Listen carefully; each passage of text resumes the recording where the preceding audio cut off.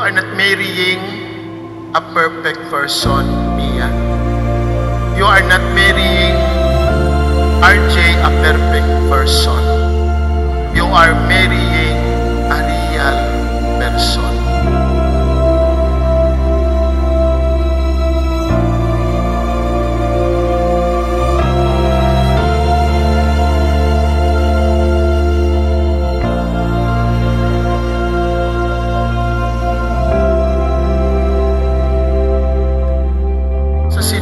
adlaw, kinupod ninyo ang Ginoo sa inyo desisyon.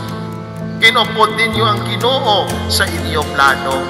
Kinupod ninyo ang Ginoo sa tanan ninyo nga hilikoton, sugod subukan.